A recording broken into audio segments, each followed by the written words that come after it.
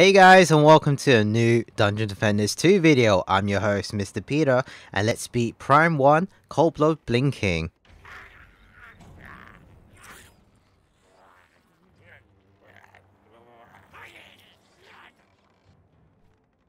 That right there is the Goblin King. We have to please him with gold. If we don't, he will blow up the crystal. On the top right, it has an infinite symbol. The wave will end when the king is pleased with the amount of gold that we have gathered. This prime is definitely different from the previous two. On this one, we'll have to be very proactive. You'll see why very soon. What do we know about this map? Little Horn Valley has 1000 DU space. It has 5 lanes, 2 sub-objectives, and 3 flyers. That means every lane must be 180 DU or less. For 5 lanes, that will be 900 DU in total. That will leave us with 100 DU for the flyers. Looking at the lanes, we have a lot of melee units and 2 chaos units. We need to keep an eye out on those flying kobolds. Once they get weak, they'll try to dive into anything, and we have sub-objectives to protect. Once those sub-objectives are destroyed, it's going to make the game much more harder for us. Also, a side note before we check our defenses, there are no cyborgs in primes ever, so you don't have to worry about your flamethrower being stunned by them. There are assassins in this prime, they come a bit later in the game, keep that in mind. We'll be using our flamethrower which has anti-chaos and anti-melee, just so we can take out those kobolds. LSA for the bosses, Proton for the slow, the reflect beam for damage, and our training dummy to buff our defences using the shard power pylon. Again, we won't be using destructive pylon because not many of you guys will have destructive pylon. This tower plays an important role in this prime and I'll explain this once we start the wave.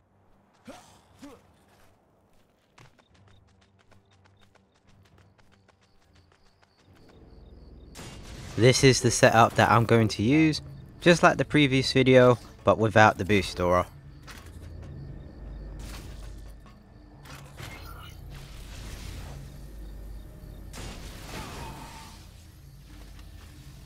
As you can see, this setup costs about 160 DU, perfect amount. We'll be doing this for all the lanes.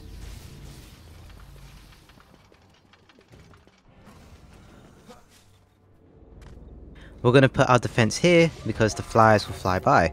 Our flamer will do some cheeky damage to them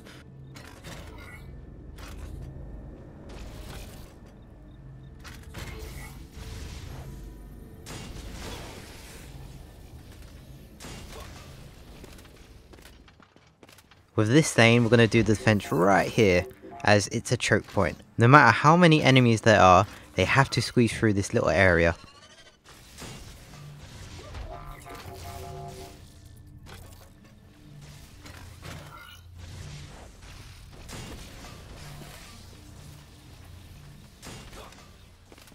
Same thing here, small choke point, gotta make them squeeze through.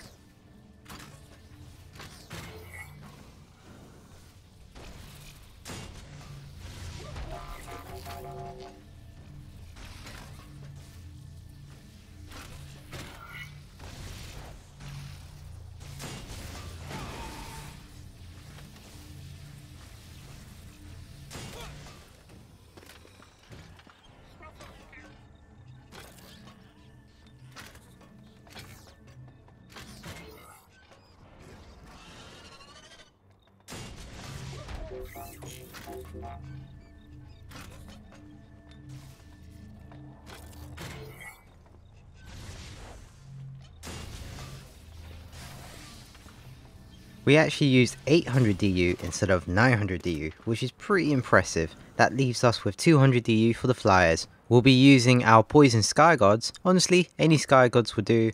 You can even use your flamethrowers or LSA, but that's up to you guys. Make sure you don't put it too close to a lane. There are kobolds and they do dive into towers.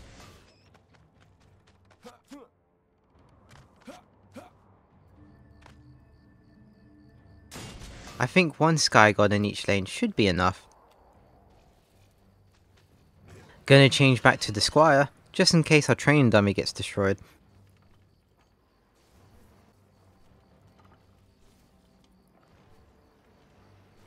As soon as you start the game, a timer will appear. Again, if you don't gather enough gold within the timer, he'll blow up the crystal.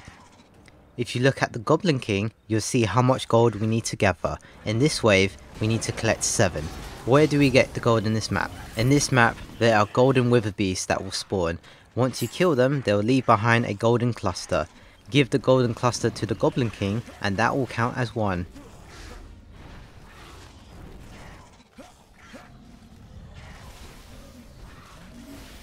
This is an example of why we're using the training dummy. The Wither Beasts are designed to bury themselves in front of a blockade, and because our towers are in front of the blockade, they will die in the lane, which is perfect. We can pop to any lane, pick up the gold, and give it to the king. Simple.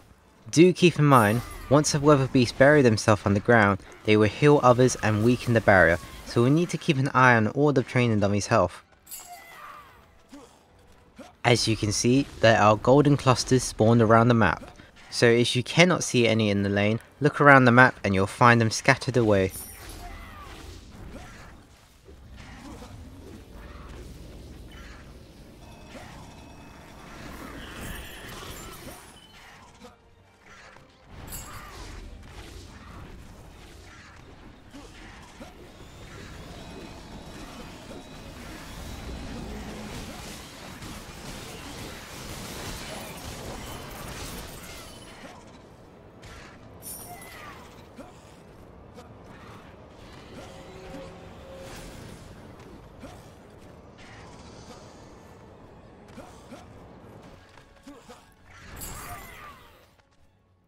Now you've beaten the first wave, it only gets easier from here.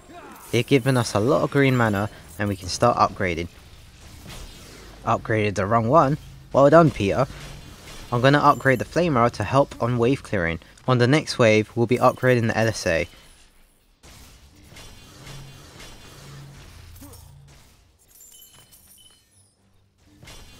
Remember to repair all the training dummies, they are buffing our defences so we don't want them to get destroyed.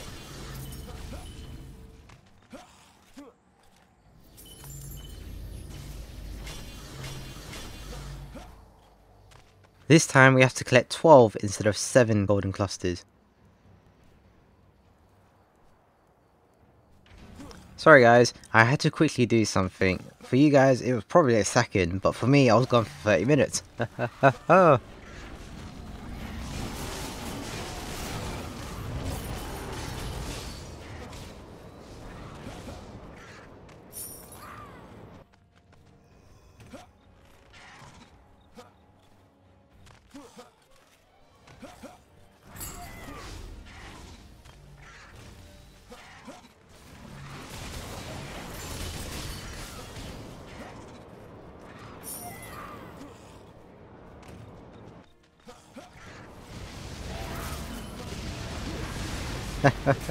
Even with 1.1 million health, I'm still getting blown up.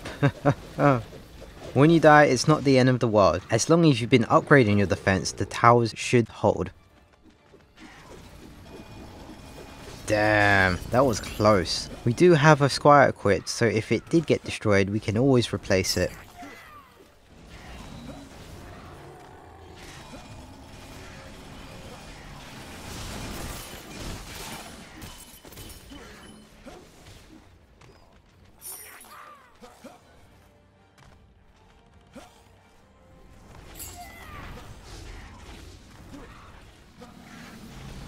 With this prime, I do recommend doing it with someone else, you can cover more ground with a friend, however if you're a solo player like me, it is possible to do all the primes by yourself. It may seem impossible, but it's definitely achievable.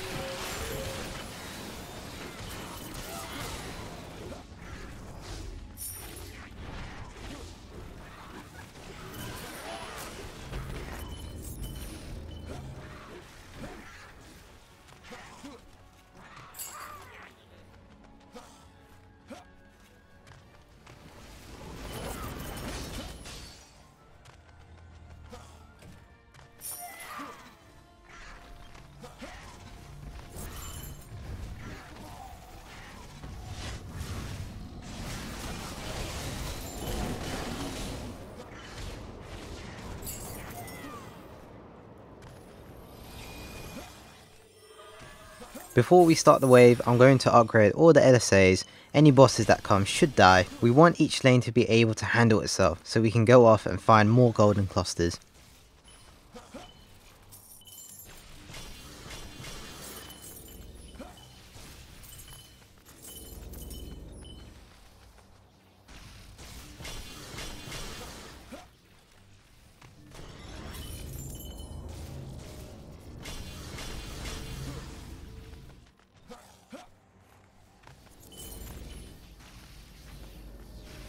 Here we go.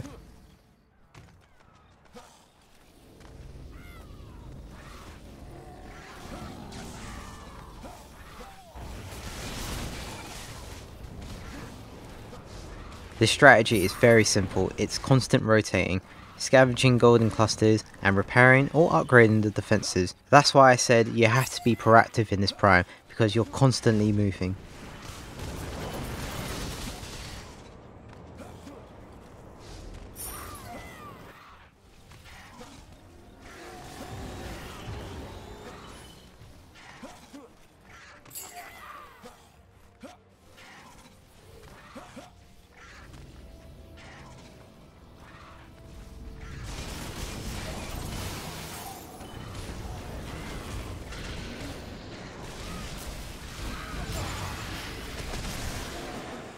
Assassins can catch you off guard. As soon as you see that purple mist on your hero, get to the closest defense you can go to.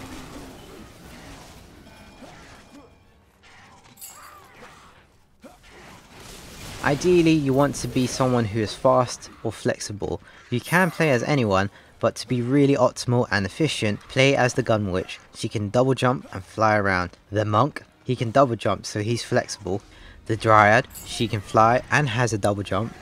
The Mystic has a lot of speed when she's full Pleasant, same as the Lavamancer. Yeah, keep an eye on the map, it always gives you valuable information.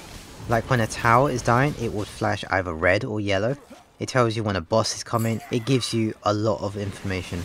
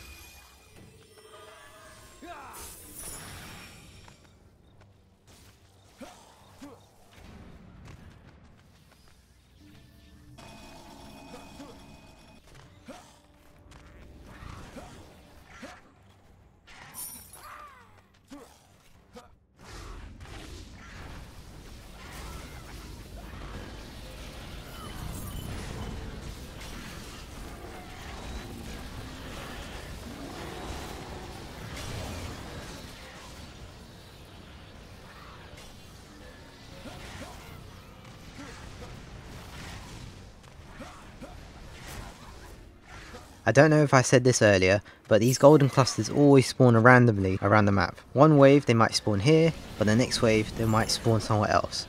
It's always random. Hopefully by watching me, you get a rough idea where they spawn,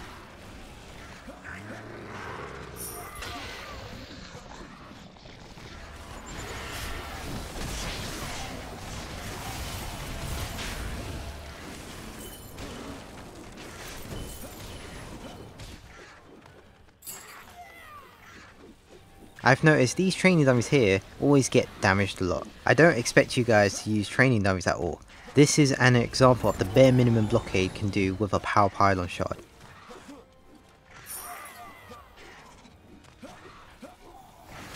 Frostfire Revenants can help wave clearing, so I do recommend using it, especially with Grave Infection or Drenching Strikes. Just be careful you don't spawn kill the Golden Wither Beast. You cannot pick up a Golden Cluster when it's trapped at spawn.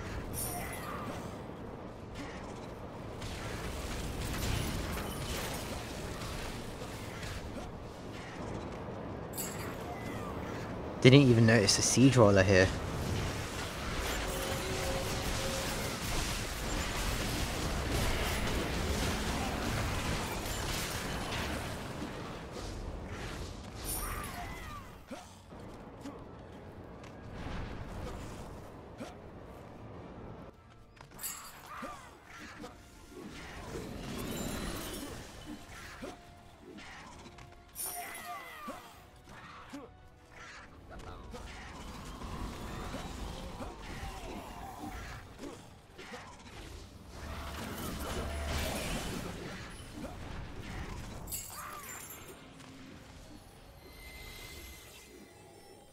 On the last wave, we have to collect 15 golden clusters.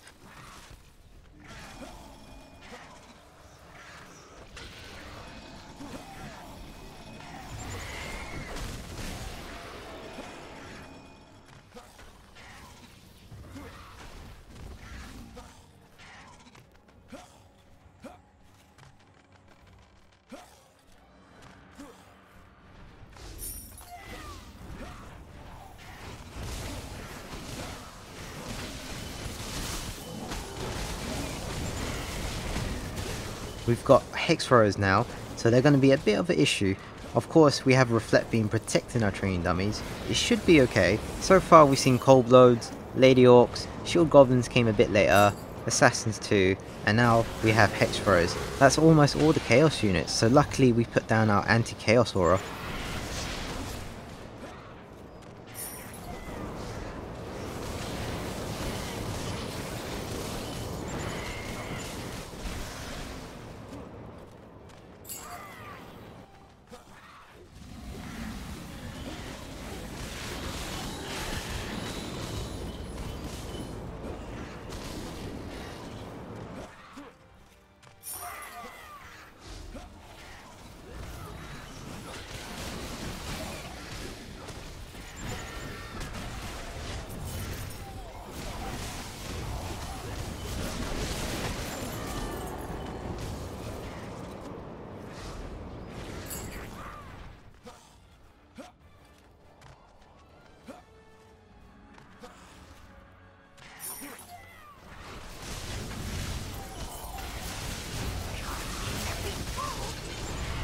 As Assassin tried to be cheeky there, attacking me when I'm attacking the Siege Roller.